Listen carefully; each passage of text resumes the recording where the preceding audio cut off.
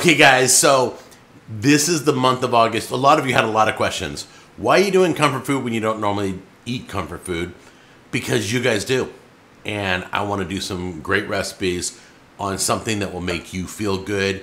The times have been tough, the world's gone crazy. Comfort food is exactly that. There's a lot of suicides are up and uh, anxieties medications up. So I want to add in my show. I want to add to helping. I want to add to people's comfort. So I'm going to do recipes that will make you feel better or comfortable or however you look at it. Uh, we're doing all month of August. We're doing comfort food, and I'm pretty excited to uh, bring these recipes to you. I got it all mapped out. I'm all ready to go. September, we're doing something else exciting. There's a lot coming to the show. Um, but I want to talk about this, this dish right here, this platter. So I'm going to bring you in close to look at this. Then we'll go to the recipe, okay? But today we're doing uh, mac and cheese, and this is supposed to be like an award-winning recipe. So I'm hoping it's good. I surveyed you guys. There's two types of uh, mac and cheese that I've had.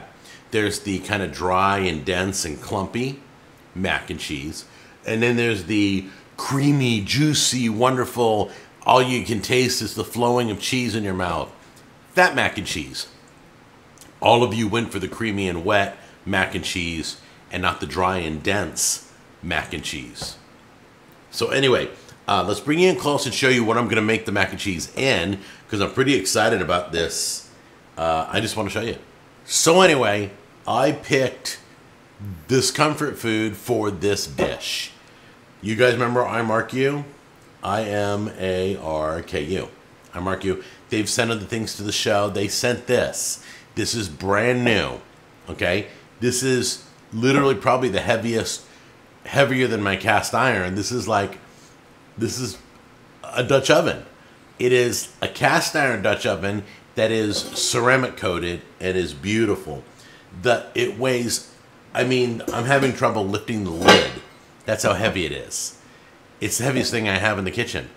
But it's amazing. It's solid construction. I feel like it's like a big big red egg. Like I want to cook in the big red egg, right? Because that's how the big green egg is made. That's how I feel this is made. Okay guys, let's run down all the ingredients. Right here we got got a stick of butter, a little bit of flour. Here's our elbow macaroni, milk, half and half, salt and pepper, little paprika, and I think that's everything. Yep. First thing you're going to do is you're going to preheat your oven real quick. Let's uh, turn that on. We're going to do bake 350 start. There we go.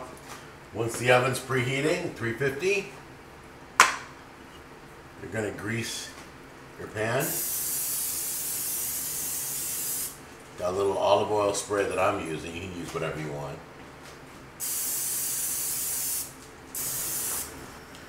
Alright, first thing we're going to do is cook our macaroni. This was boiling a second ago until I dumped the pasta in, and now it's not. Got a little bit of salt in there. I might drop a little bit of oil just to keep it kind of from sticking to itself. But cook up that, uh, that elbow macaroni al dente, which is usually about a minute less than done so that you got a little, little toughness, little firmness, very slight. We cook the macaroni it's drained by the sink, waiting to be used again. Take your butter, throw it in a saucepan. Go ahead and melt that up. Make sure the flame's on. Yep, flame's good. All the butter's melted. Go ahead and sprinkle in your flour. Seems a little hot, lower your flame a little bit. Keep a flame going, get that stirred in quickly. Stir your flour into your butter and let it cook for about a minute. Pour in a little bit of your, your milk and half and half. Either one, I don't care which one you do first. Just put a little bit in, work it in, get it all smooth and creamy. There we go. You can see it's starting to look a little creamy. Put a little more milk in and half and half. I believe this is the milk first, then we'll go to the half and half. You're going to work your dairy in, well, your liquid milk and your liquid half and half is going to be worked in first. Okay, keep going. Take your seasoning, sprinkle that in.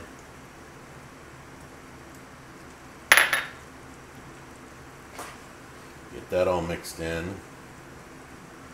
So go ahead and grab some cheese. You'll see all the measurements and everything. Just a little bit of cheese. There we go. Get that mixed in. The whole the whole idea is to get it to melt. All right. Don't be impatient. I'm the worst for waiting. I'll turn it up high just to get it to go faster. Okay, work the cheese in. Don't use all of it. The instructions will tell you how to break up your cheese and separate it so you have enough to top it off. I have a bowl of cheese waiting, shredded cheese, waiting for me to top off this whole dish. We're going to add this into there. You ready? Here we go. It's a lot of cheese. A lot of dairy. Loving it. Take your spoon and gently mix it in. It in. Still pretty hot. Work it in. All right, we got our baking dish. Bring the macaroni and cheese over. Now it says to pour half cheese, then pour half. I'm pouring the whole thing in. I'm not waiting. I'm going to cheese the top. I got enough cheese in this. I'm not worried. I don't need to cheese the half level. I just want to make sure we got this spread out. We're going to top it off, the whole thing, with cheese and get it ready for the oven. Okay? That's what this last part of the cheese was for.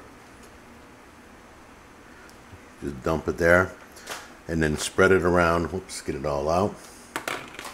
And spread it around with your hands. If you need more cheese, crack open some more cheese.